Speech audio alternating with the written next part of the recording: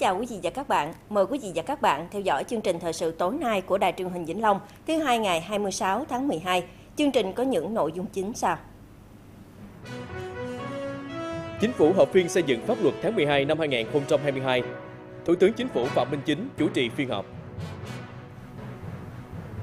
Vĩnh Long họp mặt tuyên dương bí thư đảng ủy cấp xã và chi bộ ấp khóm khu. Phát biểu tại họp mặt, bí thư tỉnh ủy Bùi Văn Nghiêm khẳng định dù còn nhiều khó khăn, nhưng với tinh thần tận tâm, trách nhiệm cao, các bí thư đã cùng với đảng bộ chi bộ thực hiện tốt nhiệm vụ chính trị, xây dựng cơ sở đảng trong sạch, vững mạnh.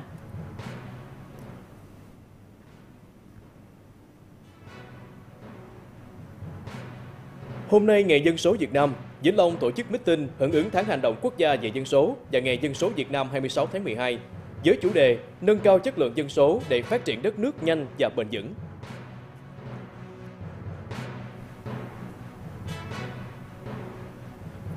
Nhân dân Vĩnh Long phấn khởi trước những thành tựu quan trọng trong phát triển kinh tế xã hội, an ninh quốc phòng năm 2022.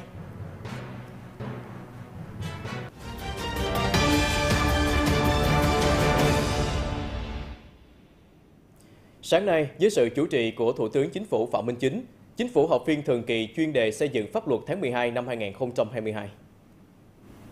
Tại phiên họp, Chính phủ xem xét dự án luật sửa đổi bổ sung một số điều của luật Công an Nhân dân và đề nghị xây dựng các luật, luật sửa đổi bổ sung luật các tổ chức tín dụng, luật căn cước công dân sửa đổi, luật công nghiệp quốc phòng, an ninh và động viên công nghiệp, luật công nghiệp công nghệ số, luật quy hoạch đô thị và nông thôn.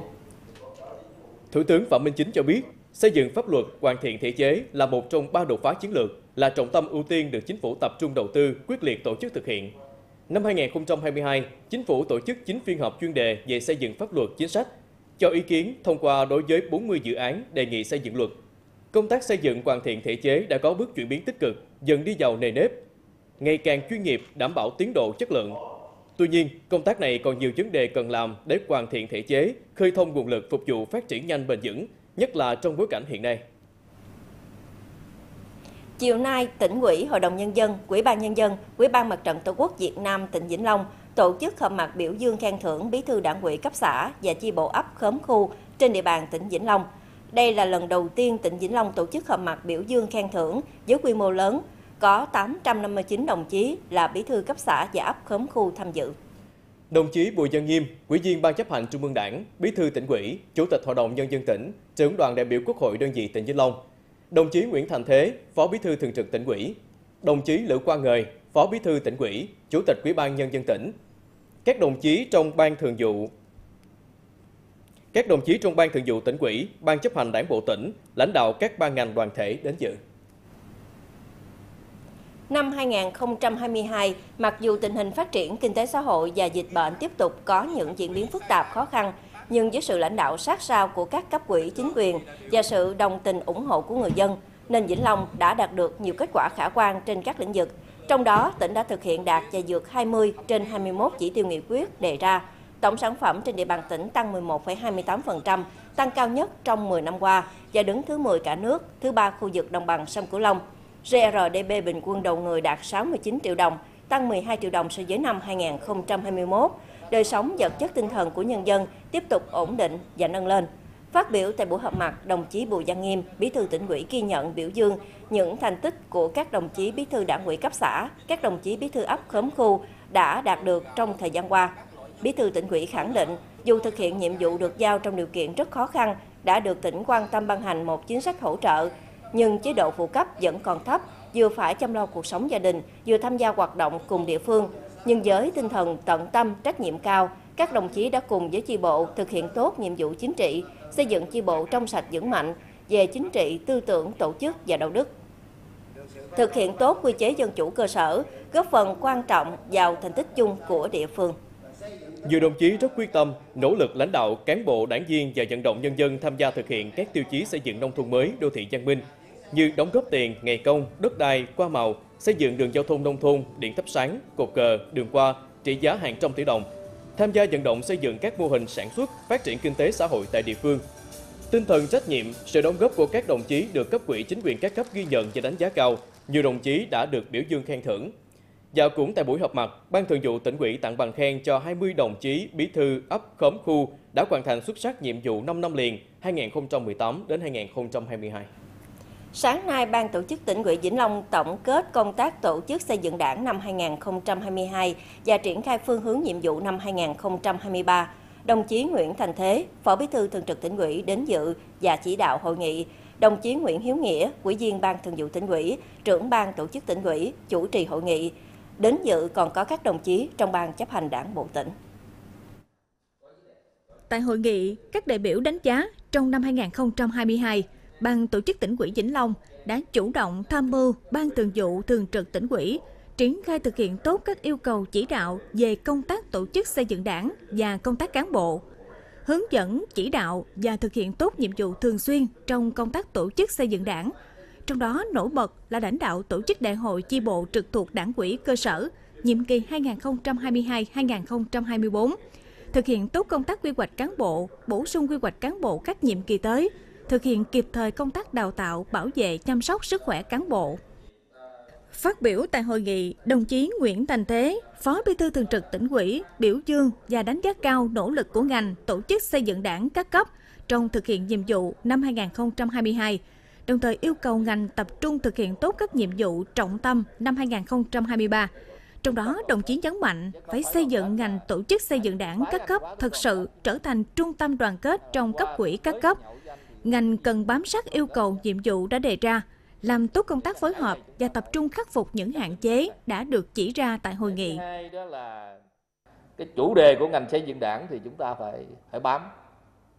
bám và chúng ta cũng phải điểm lại trong quá trình hoạt động từng tháng từng quý 6 tháng để coi cái tiến độ đó cái chủ đề đó đưa ra của ngành xây dựng đảng chúng ta để ta, chúng ta thấy cái liều lượng và thấy cách làm chúng ta mức độ làm của chúng ta ở một cái chừng mực nào để chúng ta phấn đấu cái công tác phối hợp chúng ta phối hợp tốt thì chúng ta mới giải quyết được tốt công việc phối hợp làm sao cho tốt để vận hành của bộ máy của chúng ta nó tốt mà đã nói những cái hạn chế đó thì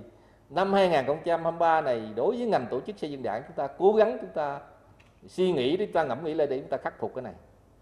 để chúng ta có giải pháp cái này để chúng ta thực hiện cho nó tốt hơn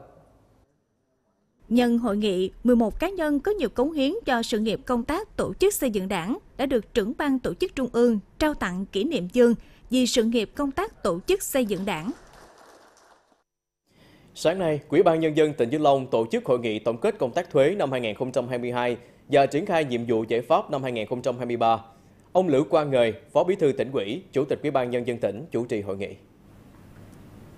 Năm 2022, ngành thuế tỉnh Vĩnh Long triển khai nhiệm vụ thu ngân sách trong bối cảnh thuận lợi và khó khăn đang xen. Tuy nhiên, bằng nhiều biện pháp cụ thể, nhiệm vụ công tác thuế năm 2022 của tỉnh đã đạt được những kết quả tích cực. Ước cả năm thu đạt 5.609 tỷ đồng, vượt 14,4% so với dự toán, tăng 1,87% so với cùng kỳ. Có 15 trên 17 nguồn thu đạt vượt dự toán, một số nguồn thu đạt cao so với kế hoạch. Trong năm, ngành thuế tỉnh cũng đã tham mưu Ủy ban Nhân dân tỉnh ban hành các đề án chống thất thu thuế đối với lĩnh vực kinh doanh thương mại điện tử, hoạt động kinh doanh bất động sản, triển khai kịp thời việc thực hiện giảm miễn, gia hạn các loại thuế hỗ trợ doanh nghiệp, người nộp thuế sau đại dịch. Phát biểu tại hội nghị, ông Lữ Quang Ngời, Chủ tịch Ủy ban Nhân dân tỉnh Vĩnh Long, ghi nhận biểu dương những kết quả ngành thuế đã đạt được trong thực hiện nhiệm vụ ngân sách năm 2022 đồng thời yêu cầu ngành thuế triển khai thực hiện tốt hơn nữa và kịp thời các chủ trương của chính phủ trong hỗ trợ người nộp thuế, tạo điều kiện để các doanh nghiệp hộ kinh doanh phát triển để nuôi dưỡng nguồn thu, tập trung thực hiện đồng bộ các giải pháp để khai thác nguồn thu, chống thất thu ngân sách nhà nước.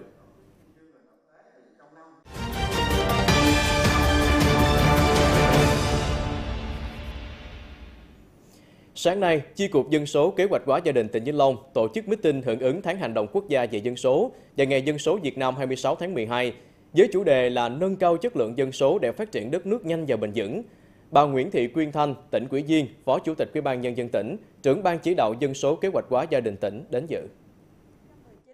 Trong những năm qua, công tác dân số kế hoạch hóa gia đình của tỉnh Vĩnh Long đạt được những kết quả quan trọng đặc biệt khi triển khai nghị quyết số 21 của Ban chấp hành Trung ương Đảng về công tác dân số trong tình hình mới, tỉnh đã thực hiện đồng bộ trên 4 lĩnh vực là quy mô, cơ cấu, chất lượng và phân bổ dân cư. Nhận thức của cán bộ đảng viên và nhân dân trong tỉnh về chính sách dân số kế hoạch hóa gia đình được nâng lên rõ rệt. Quy mô dân số dần ổn định và trong tầm kiểm soát, chất lượng dân số được cải thiện về nhiều mặt. Tuy nhiên, Vĩnh Long là một trong 21 tỉnh thành có mức sinh thấp, mất cân bằng giới tính khi sinh vẫn chưa được kiểm soát ổn định. Lợi thế của dân số vàng chưa được khai thác hiệu quả, chưa có giải pháp đồng bộ. Phát biểu tại buổi meeting kêu gọi hưởng ứng tháng hành động quốc gia về dân số và Ngày dân số Việt Nam năm 2022, bà Nguyễn Thị Quyên Thanh, Phó Chủ tịch Ủy ban nhân dân tỉnh nhấn mạnh Tôi đề nghị các cấp quỹ đảng, chính quyền, các ban ngành đoàn thể và toàn xã hội tiếp tục nâng cao nhận thức, trách nhiệm về vai trò, tầm quan trọng của công tác dân số đối với sự phát triển nhanh và bền vững, tăng cường sự tham gia đồng bộ, tích cực, trách nhiệm của các cấp, các ngành, mọi tầng lớp nhân dân để hoàn thành mục tiêu về dân số và phát triển trong thời gian tới. Tăng cường công tác tuyên truyền, phổ biến chủ trương, chính sách của đảng, pháp luật của nhà nước, những định hướng công tác dân số và phát triển trong thời gian tới, tổ chức có hiệu quả và đồng bộ các hoạt động truyền thông, giáo dục về dân số tại cơ sở, góp phần giải quyết đồng bộ các vấn đề về quy mô, cơ cấu, phân bố, nâng cao chất lượng dân số. Sau lễ meeting, lực lượng đoàn viên thanh niên đã diễu hành quanh các tuyến đường nội ô thành phố Vĩnh Long, tuyên truyền thực hiện công tác dân số trong tình hình mới. Một trong những tỉnh có mức sinh thấp với số con bình quân của mỗi phụ nữ trong độ tuổi sinh đẻ chỉ đạt 1,8 con tỉnh Vĩnh Long đang triển khai nhiều giải pháp tuyên truyền vận động người dân sinh đủ hai con và phấn đấu đưa mức sinh tiến dần đến mức sinh thay thế vào năm 2030. Thông điệp mỗi cặp vợ chồng nên sanh đủ hai con. Những lợi ích khi có hai con được cộng tác viên và cán bộ chuyên trách dân số tích cực tuyên truyền thông qua nhiều hình thức. Qua đó đã góp phần thay đổi nhận thức suy nghĩ của nhiều gia đình trong việc sanh con. Hiện tại thì em có một đứa rồi, người cũng cũng gần 2 tuổi rồi. Nhưng mà em cũng định là nó lớn lớn tí xíu cỡ như đi trường được vậy đó. Thì em cũng sanh thêm đứa nữa cho nó có anh có em. Đẩy mạnh công tác tuyên truyền vận động. À, mỗi gia đình nên sinh đủ hai con. À, trong đó cái nội dung tuyên truyền chủ yếu là nói về cái lợi ích của việc sinh đủ hai con. À, các à, nguy cơ khi người phụ nữ sinh con muộn và các cái ảnh hưởng à, đến ờ, ảnh hưởng của việc sinh ít con đến sự phát triển kinh tế xã hội. Nhờ đẩy mạnh nhiều biện pháp tuyên truyền có trọng tâm trọng điểm, đặc biệt là những gia đình có một con và đang trong độ tuổi sinh đẻ, nên những năm qua, mức sinh ở Vĩnh Long có chiều hướng tăng lên rõ rệt. Từ 1,63 con trên một phụ nữ năm 2010 tăng lên 1,81 con trên một phụ nữ năm 2019 và ước đạt 1,84 con trên một phụ nữ năm 2022 chuyển trọng tâm từ cái chính sách dân số kế hoạch gia đình sang cái dân số phát triển. Tức là giờ không có tập trung vào cái kế hoạch hóa gia đình mà chúng ta tập trung vào cái quy mô dân số cơ cấu dân số và chất lượng dân số. Để mà thực hiện à, à, tốt cái mục tiêu đưa mức sinh tiến dần đến mức sinh thay thế vào năm 2030 theo quyết định 3128 của Ủy ban dân tỉnh Vĩnh Long à, thì đối với ngành thì à, cần cái đẩy mạnh cái công tác tuyên truyền vận động à, với nhiều hình thức đa dạng và phong phú thì ngoài cái lực lượng cộng tác viên dân số thì chú trọng công tác phối hợp chặt chẽ với các ban ngành đoàn thể địa phương à, đẩy mạnh công tác tuyên truyền vận động à, chú trọng vào cái việc thường xuyên là cung cấp thông tin à, về cái chương trình điều chỉnh mức cơ sinh cho các cấp quỹ đảng chính quyền địa phương và những người có uy tín trong cộng đồng à, hiểu được cái à, quán triệt cái việc à, chuyển à, trọng tâm từ kế hoạch hóa gia đình sang duy trì mức sinh thay thế và tập trung vào những cái đối tượng đích là nam nữ thanh niên chuẩn bị kết hôn phụ nữ cặp vợ chồng à, có một con đạt mức sinh thay thế sẽ phát huy được các lợi thế của dân số như quy mô dân số sẽ ổn định, cơ cấu tuổi của dân số sẽ cân bằng hơn, duy trì tương đối ổn định tỷ lệ dân số trong độ tuổi lao động, kéo dài giai đoạn cơ cấu dân số vàng, làm chậm thời gian chuyển đổi từ giai đoạn già hóa dân số sang dân số già, tạo tiền đề vững chắc cho sự phát triển bền vững về kinh tế xã hội của tỉnh trong cả hiện tại và tương lai.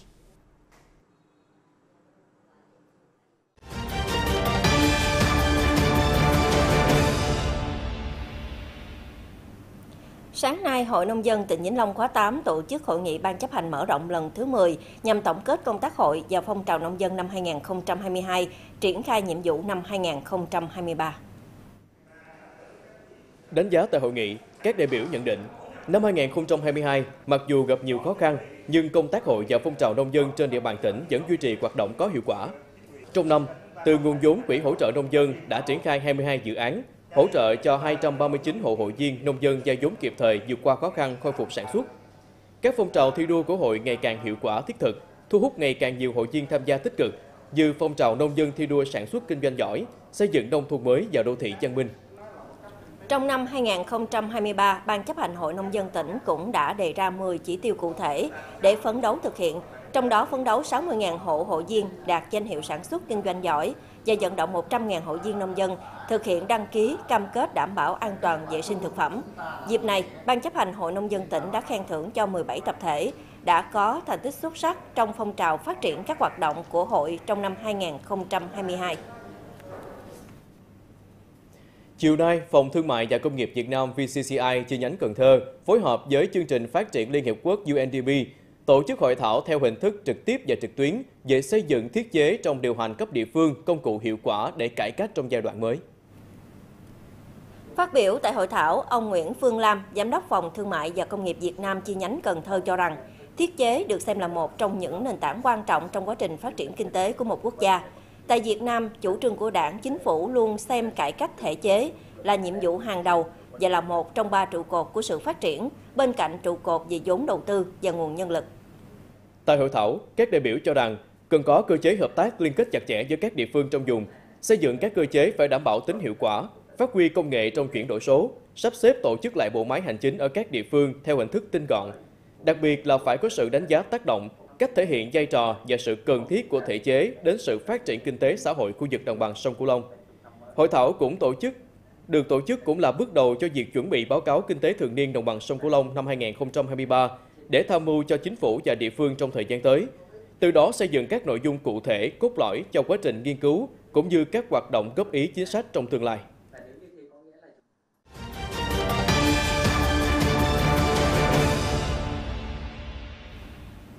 Thưa quý vị và các bạn, năm 2022, kinh tế xã hội trên địa bàn tỉnh có sự phát triển ổn định, các hoạt động văn hóa xã hội được quan tâm, an ninh chính trị, trật tự, an toàn xã hội được giữ vững, dịch bệnh được kiểm soát tốt là những thông tin tạo sự phấn khởi cho người dân tỉnh nhà. Đó là kết quả của sự nỗ lực, sáng tạo trong lãnh chỉ đạo của các cấp quỹ đảng, chính quyền, sự năng động của các đơn vị doanh nghiệp, sự cần cù chịu khó của các tầng lớp nhân dân. Kết quả đã tạo cho người dân trong tỉnh có thêm niềm tin và động lực để vững tin bước vào năm mới 2023. Cùng với việc hoàn thành cất mới sửa chữa 526 căn nhà ở cho gia đình người có công với nước giai đoạn 2020-2022, tỉnh Vĩnh Long còn hỗ trợ cất mới nhà ở 2.221 hộ nghèo, hộ cận nghèo gặp khó khăn về nhà ở. Đến tháng 10 năm 2022, trên địa bàn tỉnh không còn hộ gia đình chính sách, hộ nghèo khó khăn về nhà ở. Nhân dân rất phấn khởi trước kết quả quan trọng này. Nhà nước quan tâm vậy mình rất là mừng Tại vì hồi đó mình ở cái nhà cũng như sập sệ Hai vợ chồng là đau bệnh hết Nó không thể nào mà lo nổi một cái nhà vậy thì nhờ đảng với à, nhà nước với chính quyền ở địa phương rồi cũng quan tâm để giúp đỡ nên người gia đình được cái nhà vậy á rất là vui không chỉ hỗ trợ người dân có hoàn cảnh đặc biệt khó khăn về nhà ở tỉnh Vĩnh Long còn thực hiện tốt các chính sách an sinh xã hội, hỗ trợ doanh nghiệp, người lao động, người dân bị ảnh hưởng dịch Covid-19. Nhờ đó, đời sống của người dân trong tỉnh ngày càng được nâng lên. Nhà nước đã kiểm soát được dịch bệnh rồi thì người dân ta cũng uh, từ từ phục hồi rồi ta cũng buôn bán trở lại trở lại bình thường. Nhà nước quan tâm mình nhiều. Hả? Quan tâm tới mấy người lao động nhiều thành ra tôi rất là mừng. Mình rất phấn khởi khi người dân ai cũng lo làm ăn phát triển hơn năm vừa qua. Như năm rồi thì đâu có làm được gì. Thì năm nay ai cũng phát triển thì lo mua bán để nâng cái đời sống của mình lên để phát triển tới. Năm 2022, công tác đầu tư xây dựng kết cấu hạ tầng tạo động lực cho Vĩnh Long phát triển mạnh mẽ hơn được quan tâm với tổng mức đầu tư hơn 4.879 tỷ đồng. Nhiều công trình trọng điểm tạo động lực để phát triển hạ tầng giao thông đô thị như cầu Cái Cam 2, hoàn thiện đường Võ Văn Kiệt, kết nối 5 phường của thành phố Vĩnh Long, tạo thêm một trục động lực để phát triển tỉnh nhà trong thời gian tới. Tôi thấy Vĩnh Long mình từ ngày dịch bệnh là đã, đã kiểm soát được. Là tỉnh quỹ với quỹ ban lo cho dân là rất là tốt. Những cái công trình mới nó mở ra những cái hội phát triển. Nhà nước là rất quan tâm tới dân là tôi thấy cái đó là một điều đó là rất là tốt. Đến giờ phút này thì nói chung là đã ngăn chặn được dịch bệnh. Đảng và nhà nước thì đã tạo một cái điều kiện để cho dân từ đây trở về sau là ổn định với đề kinh tế là làm rất là an tâm mà rất là tin tưởng vào đảng và nhà nước phấn khởi trước sự phục hồi phát triển kinh tế xã hội người dân tỉnh Vĩnh Long tiếp tục đoàn kết chung sức đồng lòng cùng cấp quỹ đảng, chính quyền, các ban ngành đoàn thể các cấp, chủ động kiểm soát có hiệu quả dịch bệnh COVID-19, đồng thời tiếp tục thi đua lao động sản xuất, góp phần đưa kinh tế xã hội của tỉnh nhà ngày càng phát triển. Thưa quý vị và các bạn, à, bước qua đầu tháng chạp thì à, nhiều nông dân ở miền Tây Nam Bộ lại tất bật chuẩn bị dù qua kiện Tết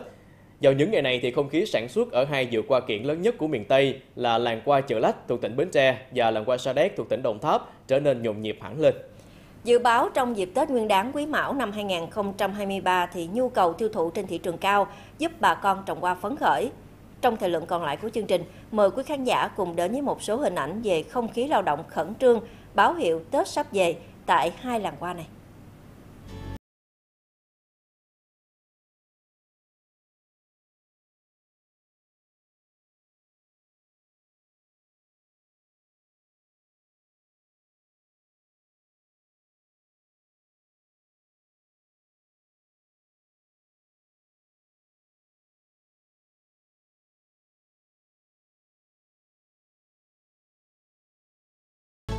Làm kiển hình này đó, nó khó nhất là cái bộ 12 giáp. Bị cái bộ mặt nào nó cũng không giống với nhau, mà mình làm ra con thú á phải có hồn. Khách hàng tao mới thích.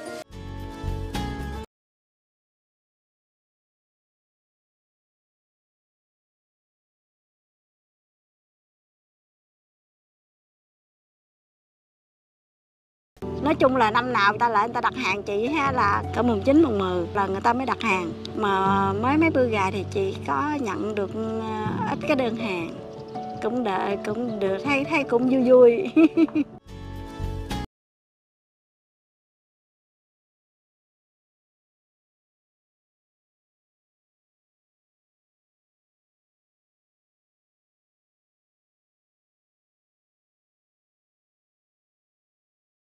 Thưa quý vị, đến thăm hai làng hoa lớn ở miền Tây để cảm nhận nét đẹp lao động của người dân nơi đây, để hiểu rằng muốn có được những chậu hoa đẹp, người trồng đã phải tốn bao mồ hôi công sức và trải qua một quá trình lao động nghiêm túc. Đến đây thì chương trình thời sự tối nay xin được khép lại. Cảm ơn quý vị và các bạn đã quan tâm theo dõi. Xin kính chào tạm biệt và hẹn gặp lại.